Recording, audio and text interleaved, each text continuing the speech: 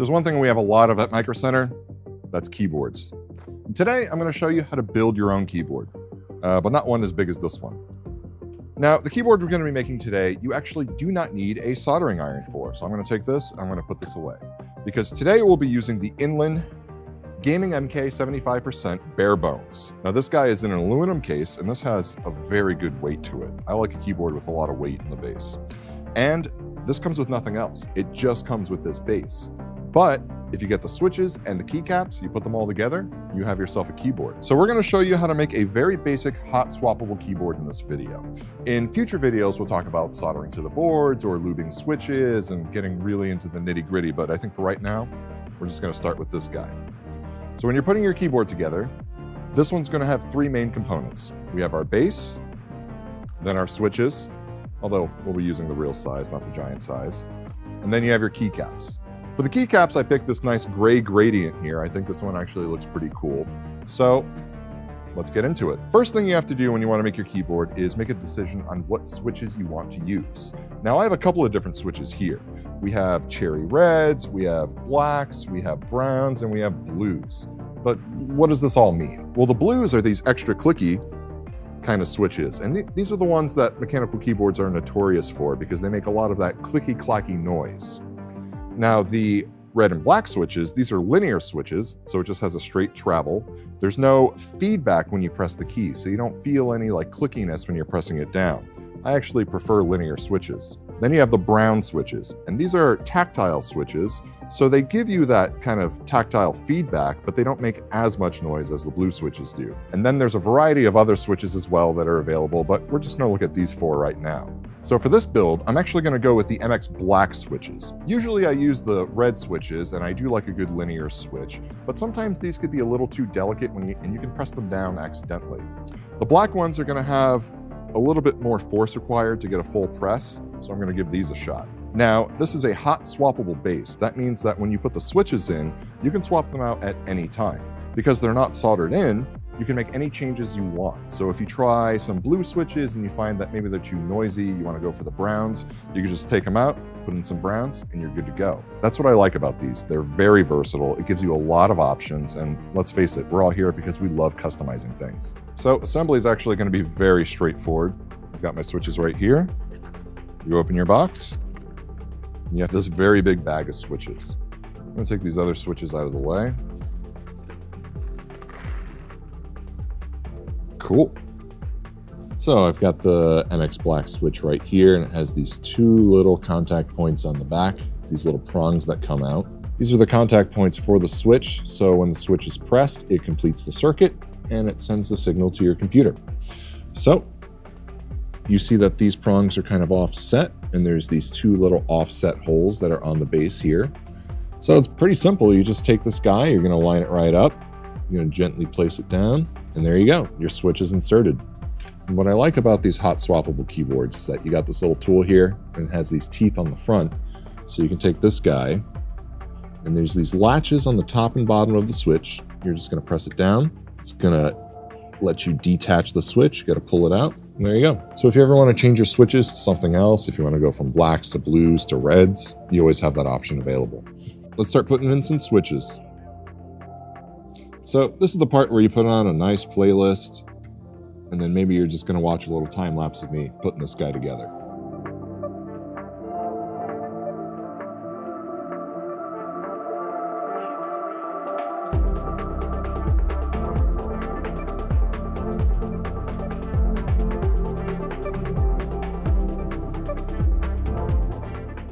Heyo, look at that.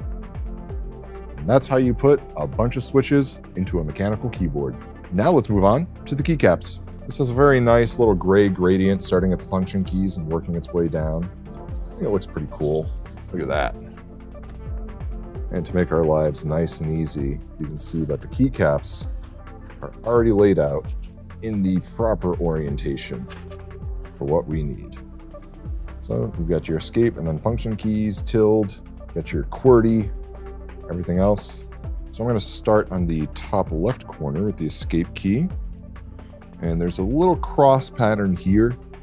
And that's actually what's going to latch the key onto the switch. And you can see right here, the button on the switch. All you gotta do is match them up. Press it down. And there you go. So you can hear that. That's a nice linear click.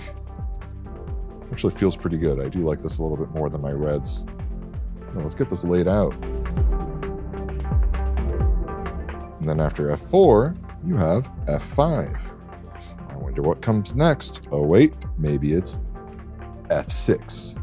There's no way we can top that, but oh, there it is. F7. Hmm, F7 doesn't want to get in there. Come on. There we go.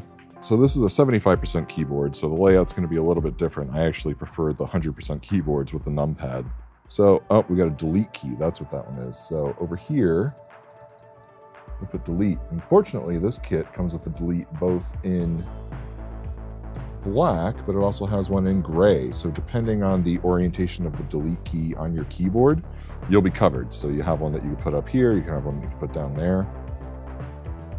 So there's little extra touches that really make it all kind of come together, you know, because it'd be awkward having a different colored key up here. All right, let's move on to the next row. And we have our backspace. So this one's going to be a little bit wider than the other one. So you can see in the middle, the switch is going to connect here in the middle, and then it's going to line up here. And these are kind of our stabilizers that are built into the board. So that's going to help keep these longer keys stable and in place. So that's what these guys are. So this one, you're just going to line it up and it's just going to go right in. Super simple. Kawati. QWERTY. Isn't that QWERTY?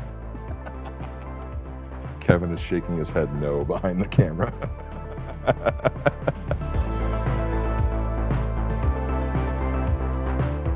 WASD, the most important keys on this guy.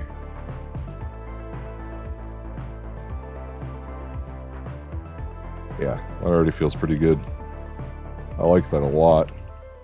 I don't know if you can hear that on the camera, but feels nice. That's not right.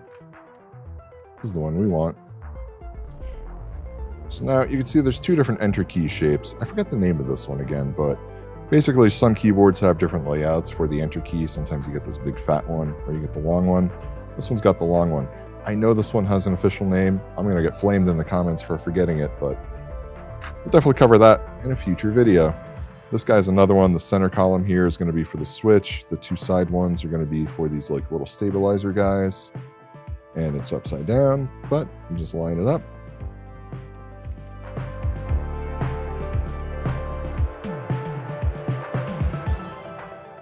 ZX, oh no. I swapped my keys. All right, that's where this guy's gonna come in handy. Uh, I made a mistake. I actually put these in reverse. I thought that looked wrong. So this one's actually pretty simple. This tool, you just kind of push it down. You see how it catches onto the cap. And you just kind of pull it up. There you go. And that's why they call it a keycap puller. Pulls the keycap right off. There we go. ZX, C, and then V. All right, that's better.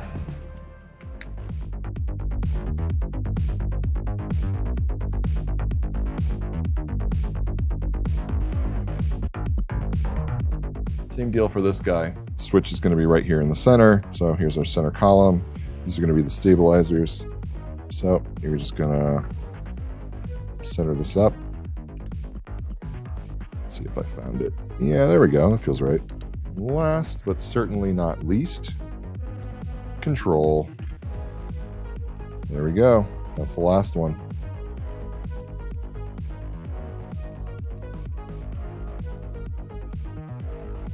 Now, obviously, I'm not a great typist. I probably do like 20 words per minute, but this feels wonderful. I'm just gonna type haphazardly. Now, what I really like about this kit is that it already comes with a very nice looking coiled USB-C cable. So I'll use this guy. I'm gonna run this to our studio PC, get it fired up. On the back here, there's a little switch, so depending on what system you use, if you're on Windows or Mac, it is compatible. And the uh, keycaps will come with the right caps for your systems. I'm gonna set this to Windows, all in all, I think this is a very solid keyboard. I really like this a lot. And I gotta say, the weight on this guy feels amazing. I'm gonna unplug it right now. They hook you up with this really nice coiled USB cable, which I like a lot. This one looks great. So again, this is a hot swappable board. You can swap out the switches whenever you want. You can swap out the keycaps whenever you want. So if you want to go from this set, maybe go to a different blue, maybe you want to go to, let's say, a clickier switch, you always have that option available to you. And honestly, it's really easy. Now, we're gonna make more videos about keyboards. We're gonna do different configurations, maybe try out a couple of different switches and demonstrate what they sound like on camera. And uh, make sure you stay tuned. We're gonna show you how to solder your own boards and get really complex when it comes to keyboards. So that's a beginner's guide to making your own keyboard. And again, that's using the Inland Gaming MK Pro 75% keyboard. I really like this gray gradient on this guy. I think this looks really smooth. This is a good understated look. The lights still come through kind of at an angle, but again, with the blacked out switches, it doesn't shine through completely. Uh, but remember, this is just a beginner guide. So this is a hot swappable keyboard. There's a lot more when it comes to the keyboard world. I mean, we're talking about soldering and lubricating switches and lubricating stabilizers and everything else, but we're gonna get there in another video. But for now, stop by your local Micro Center, check out some of this, and also check out the rest of our keyboard selection. And if you don't have a Micro Center near you, make sure you comment hashtag I want a Micro Center near me.